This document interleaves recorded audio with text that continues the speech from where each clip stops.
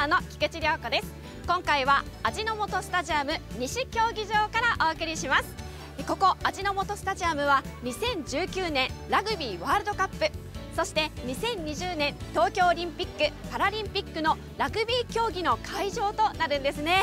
えその会場で今回は府中そして調布三鷹の3市合同でラグビーフェスティバルが開催されました。その模様も後ほどたっぷりとお伝えしますのでどうぞ最後までご覧ください。それでは早速参りましょう。まずは府中市からのお知らせです。府中市発行の広報誌広報府中から主なお知らせをお伝えします。6月25日に開催されるラグビー日本代表戦に合わせて味の素スタジアムでスペシャルイベントが開催されます会場ではストリートラグビー大会を行うほか府中、三鷹、調布の3市の地元団体によるステージイベントなどを行います。ステージイベントでは府中市の伝統芸能を代表して府中林保存会も参加予定です。ぜひお越しください。古紙持ち去り防止に関する共同連携協力協定を締結しました。市では違法な古紙の持ち去り防止を強化するため関係機関との間に古紙の持ち去り防止に関する共同連携協力協定を締結しました。これにより市のパトロール車両ゴミ収集運搬車両の100台に古紙持ち去り根絶宣言ステッカーを調布し持ち去り業者との見分けを明確にすることで古紙持ち去り防止の強化を図ります。持ち去り行為を発見したときは車両ナンバーなどの情報をお寄せください。市では地域で生産した農産物を地域で消費する地産地消を推進しています。地産地消の取り組みの一環として小中学校の給食に多くの府中産の農産物が使われています。平成27年度に給食センターで使用した黒米の100%分けネギのおよそ49%小松菜のおよそ32%が府中産です。市内で生産された農産物は市内50カ所以上の農産物直売所と4カ所の農産物共同直売所市内のスーパーなどでも販売されています。各直売所の情報は文化センターなどで配布している府中産農産物直売所マップでご確認ください。また郷土の森観光物産館内の琴美カフェでは黒米などの府中産農産物を使用した料理を提供しています。ぜひご利用ください。図書館の不要雑誌を配布します。日程は7月3日日曜日から17日日曜日の開館日。会場は各地区図書館。持ち帰り冊数は1人12冊までとなっています。なお在庫がなくなり次第終了します。当日は手提げ袋などを持参してください。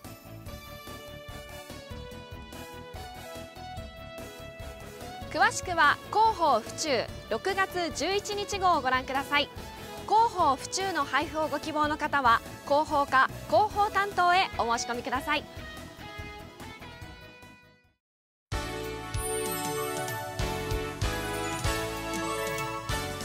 市の担当者からのお知らせのコーナーです。今回は味の素スタジアム西競技場からお届けします。制作家の奥さんです。よろしくお願いします。よろしくお願いします。早速ですが今回の話題を教えてください、はい、今回は2019年ラグビーワールドカップ2020年東京オリンピック・パラリンピックに関する府中市の取り組みについてお知らせいたします。府中市ではどんなことをするんですか？府中市ではラグビーワールドカップ東京オリンピック・パラリンピックを盛り上げるために5本の柱を軸に事業を進めていきます。5本の柱は大会機運の醸成キャンプ地の誘致ボランティアの育成支援スポーツ文化の発展魅力発信です。その中でも特に力を入れていることは何ですか？5本の柱のうちぜひともキャンプ地の誘致については成功させたいと思っていますあの府中駒のポロシャツも着てらっしゃいますし、はい、熱意がとても伝わってきました、はい、そんな中でそのキャンプ地の誘致が成功しますと、はい、私たち市民にはどういったいいことがあるんですか、あの府中市がキャンプ地になるメリットは全部で3つあります。1つ目は子どもたちに夢を与える絶好の機会になることです。一流選手の練習を間近に見ることができるので将来オリンピック選手になりたいという夢や希望を持つきっかけになったり海外の一流選手との交流を通じて国際交流のきっかけにしたいと思っています。2つ目は府中市から全国に大会を盛り上げていくことです。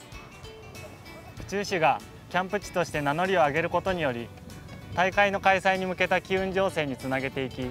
ひいては府中市を全国に PR できる機会となればと思っています。3つ目はキャンプ地に選ばれることで国内外の観光客が府中市を訪れるきっかけにもなると考えています。観光誘致による経済効果も期待できると思います。子どもたちに夢を与えたり府中市から全国へと大会を盛り上げたりまた大勢の観光客の方が府中市に来たりとい。いことがたくさんありそうですね。そうなんです。2019年のラグビーワールドカップの開幕戦はまさに今おりますここ味の素スタジアムが会場になっていますのでこの立地の良さをキャンプ地誘致に向けて PR していきたいです。さらには皆さんご存知府中市を活動拠点とする東芝ブレイブルーパスとサントリーサンゴリアスとの連携を図りながら誘致に向けた取り組みを進めていきます。それでは最後に一言お願いします、はい、市民の皆さんと共にラグビーワールドカップ東京オリンピック・パラリンピックを盛り上げていきたいと思いますので皆さんのご協力をお願いいたしますプチコマラグビーポロシャツも絶賛発売中ですのでぜひこれを着て一緒に盛り上げていきましょう。皆さんと楽しみながら盛り上げていきたいですよね、はい、今回は奥さんどうもありがとうございました。ありがとうございました。続いては味の素スタジアム西競技場からこちら。府中調布三鷹ラグビーフェスティバルの模様をお伝えします。味の素スタジアムは2019年ラグビーワールドカップ。2020年東京オリンピック・パラリンピックのラグビー競技の会場となります。ラグビーの新たな歴史を刻む味の素スタジアム。その近隣自治体である府中市、調布市、三鷹市の3市合同でラグビーのスペシャルイベントを開催しました。3市の連携から多摩地域そして広く日本全体へとブームを広げていきたいと思っております。会場ではラグビーの体験や OB 選手によるレジェンドマッチ。府中の2大チームが対決する府中ダービーマッチなどさまざまな催しが行われました。こちらでは小学生を対象としたタグラグビー教室が行われています。皆さんとっても真剣ですよ。タグラグビーはタックルの代わりにタグと呼ばれる紐を取ることで相手の前進を止めるため小さな子供でも安全にラグビーを楽しむことができます。タグラグビーのどんなところが好きですか？あのトライしたりいろいろチームプレーができるところです。今日どうして参加しようと思ったんですか、えっと、知らない人と友達になりたかったトライした時に、えっと、みんなで喜ぶのが楽しいです。新しいお友達はできましたか、はい、よかったです。タグラグビーが楽しかった人！よかった！元気いっぱい！サントリーサンゴリアス東芝ブレイブルーパスの OB の皆さんによるレジェンドマッチがもう間もなく始まりますレジェンドマッチはラグビーファンにはたまらない往年の名選手のプレーを再び見ることができる貴重な一戦です。レジェンドマッチの後には2015年度に現役を引退した選手の引退セレモニーが催されました。あの今日は引退セレモニーですけどもこれからのためにいろいろやっていきたいと思いますので引き続きラグビー界をどのように盛り上げていきたいなとかっていうのはありますか？今日はこの試合以外も喜べるあのそういうイベントだったからあのこういう日をどんどん作っていきたいなと思います、まあ、僕はもう現役じゃなくなってしまったから、まあ、ラグビークリニックとか講演とかしながらあの少しでもラグビーの良さを皆さんに伝えていきたいなと思いますまもなく本日のメインイベントサントリーサンゴリアス対東芝ブレイブルーパスの府中ダービーマッチが始まります。現在ウォームアップをしているところなんですが畠山選手など日本代表選手も出場します。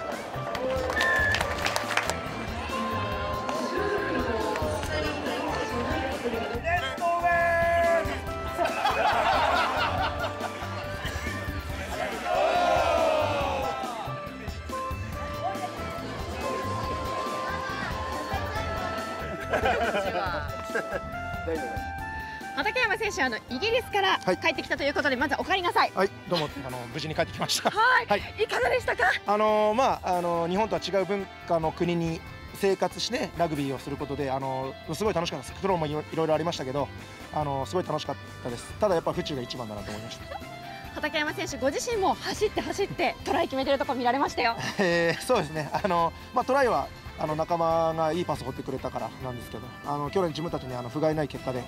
東芝さんあの決勝まで行けて、あのやっぱチャンピオンになるっていう意味でこの最初の試合すごい大事だったので、まず勝つことができて本当良かったと思います。では今シーズンの目標を聞かせてください。はい、あの絶対優勝します。はい、期待してます。はい、ありがとうございます。ありがとうございました。